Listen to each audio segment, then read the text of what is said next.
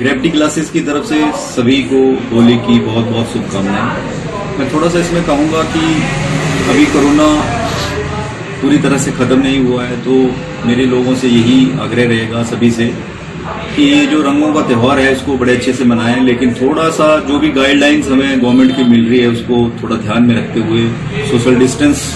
mask अपने हाथों को बार बार धोना सैनिटाइज करना, इनका भी ध्यान रखें, ताकि